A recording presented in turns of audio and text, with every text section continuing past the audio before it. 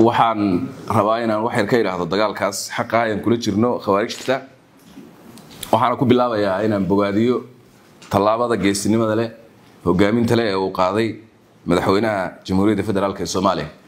Hogaamiyaha dhabta ahi waa midka u sahamiyo dadkiisa u soo arka rug iyo baro ku habboon inay degaan kadibna si xirfadaysan oo xikmadaysan ugu hogaamiya si ay ugu gaaraan iyagoo nabada. Waana midda ay muuqato inuu madaxweynuhu maanta ku dhaqaaqay. Waa oday runtii soomaaliyeed oo aan soomaaliya ka lahayn wax dan ah oo aan ka ahayn inuu arko dalkiisa oo xor ka ah shan bilyan oo dayn ah oo in fara badanoo ka mid ihi ay dayntaas lacagtaasi ay tahay ribo korsaar ah oo dalkan iyo jiilashiisa dambeba culays ku ah inuu arko dadkiisa oo ka xoroobay xor ka ah guumaysiga khawaarijtu ay ku hayaan muddada dheer. Inuu arko dadkiisa oo xor ka ah qabyaaladda dullaysatay islamarkaana u jihaystay dhinaca midnimada iyo israaca iyo walaaltinimada.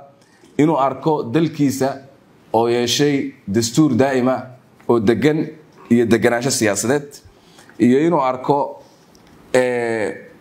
dalkiisa oo hormaray dhaqaale ahaan iyo bulsho ahaan intaba. Iyo ugu dambaysta inuu arko dadkiisa iyo dalkiisa oo sharaf ku dhex leh caalamka. Waxaa sidoo kale bogaadinayaa ciidamada amniga ee geesiyaasha ee meel walba oo dalkeenna ka mida maanta ka wada jihaadka ka dhanka ah khawaarijtaas waxay samaynayaan taariikh cusub oo qalin dahaba lagu qorayo waxayna mar labaad dib u xoreynayaan soomaaliya oo ay gumaysi ku hayaan khawaarij aan waxba reebaynin oo aan caqiidada dalka dalkani uu leeyahay dadkani ay leeyihiin iyo dalkay leeyihiin iyo karaamada ay leeyihiinba baabi'iyey.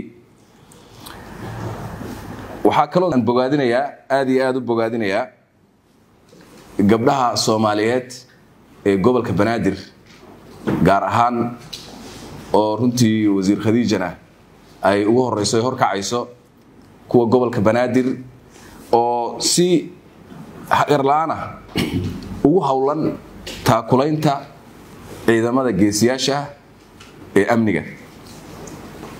Gobolka banaadir iyo degmooyinkiisa oo ayaguna si weyn ula shaqaynaya way ku mahadsan yihiin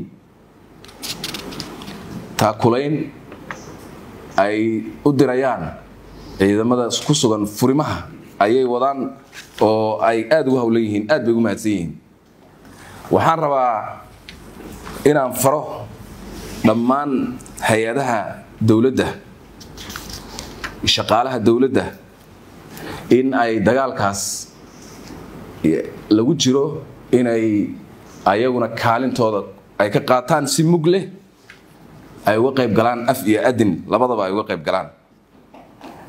Wasiirada iyo madaxda hay'aduhu waxay faran yihiin in ay ku hogaamiyaan shaqaalahaada ee arintaas islamarkaana ay ku kor joogteeyaan.